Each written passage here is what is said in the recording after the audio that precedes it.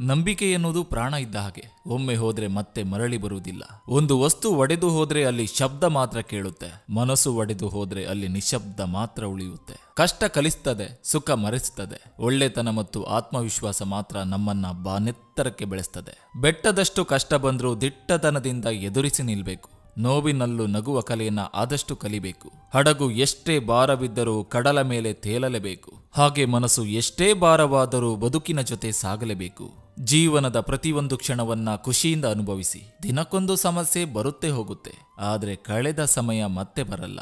ಕಷ್ಟ ಬಂದಾಗ ಕಲ್ಲಿನಂತೆ ಗಟ್ಟಿಯಾಗಿರ್ಬೇಕು. ಸುಖ ಬಂದಾಗ ಹೂವಿನಂತೆ ಮೃದುವಾಗಿರಬೇಕು. ಇದೇ ಜೀವನ. ಸಾವಿರ ನೋವುಗಳ ಮಧ್ಯೆ ಮನಸ್ಸು ನಗಲು ಸಾಧ್ಯವಿಲ್ಲ.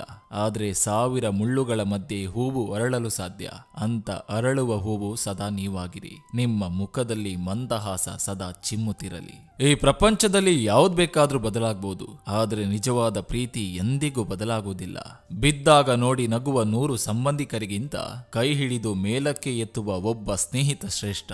ಸಮಯ ಮತ್ತು ಸಂದರ್ಭ ಎರಡಕ್ಕೂ ಎಷ್ಟು ವ್ಯತ್ಯಾಸ ಅಂದ್ರೆ ಸಮಯ ತುಂಬಾ ಜನರನ್ನ ಪರಿಚಯಿಸ್ತದೆ, ಸಂದರ್ಭ ಆ ಜನರ ನಿಜವಾದ ಮುಖವನ್ನ ಪರಿಚಯಿಸ್ತದೆ. ಇದು ಇಂದಿನ ಸಂಚಿಕೆ ಅಂತ ಹೇಳ್ತಾ, ಎಲ್ಲ ನನ್ನ ಸಜ್ಜನ ಬಂಧುಗಳಿಗೂ ಶುಭೋದಯ. ಈ ಸಂಚಿಕೆ ನಿಮ್ಗೆ ಇಷ್ಟವಾಗಿದೆ, ದಯವಿಟ್ಟು ಒಂದು ಲೈಕ್ ಮಾಡಿ, ಜೊತೆಗೊಂದು ಕಮೆಂಟ್ ಮಾಡಿ. ಮತ್ತೆ ಮುಂದಿನ ಸಂಚಿಕೆಯೊಂದಿಗೆ ಅತಿ ಶೀಘ್ರದಲ್ಲಿ ನಿಮ್ಮನ್ನ ಭೇಟಿಯಾಗ್ತೇನೆ. ನಿಮ್ಮೆಲ್ಲರ ಮನಸ್ಸು ಪ್ರಶಾಂತವಾಗಿರಲಿ ಅನ್ನೋದು ಈ ವಾಹಿನಿಯ ಉದ್ದೇಶ.